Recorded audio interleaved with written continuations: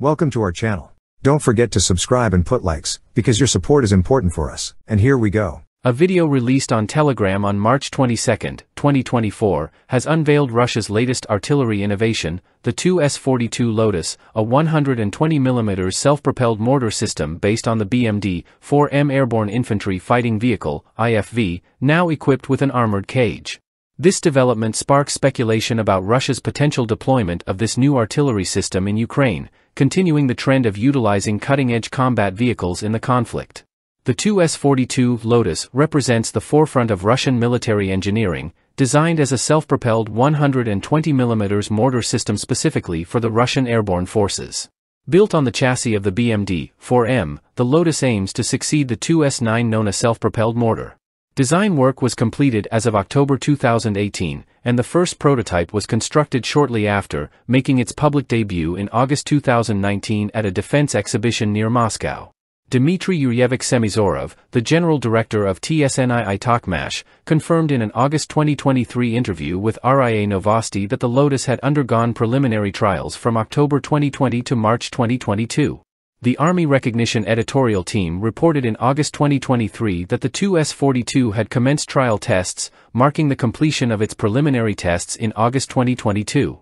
The Lotos underwent rigorous testing on land and water and was airdropped from various heights and angles. Following these tests, developers addressed identified issues, particularly with the onboard electronics, the shell loading system, and the chassis. Notably, modifications were influenced by insights gained from the ongoing war in Ukraine. Equipped with a 120mm breech-loaded mortar, the Lotos can function both as a mortar and a howitzer, capable of delivering direct and indirect fire. It boasts an automated loading system with a capacity of up to 40 rounds, including specially developed rifled rounds and 120mm mortar mines, enhancing its lethality. The vehicle's maximum firing range reaches up to 13 kilometers. The Lotos is not just formidable in firepower but also in mobility and defense.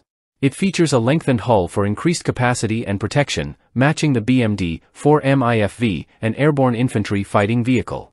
For self-defense, it includes a remotely controlled weapon station armed with a 7.62mm machine gun and smoke grenade dischargers.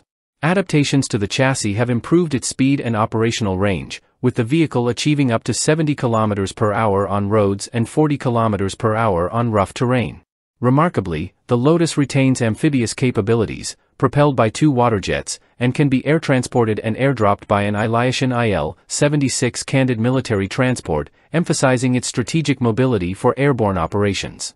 As tensions persist, the introduction of the 2S42 Lotos into the theater of operations could signify a substantial shift in the dynamics of modern warfare, illustrating the continuous evolution of military technology in response to conflict demands. That's all for now. See you later.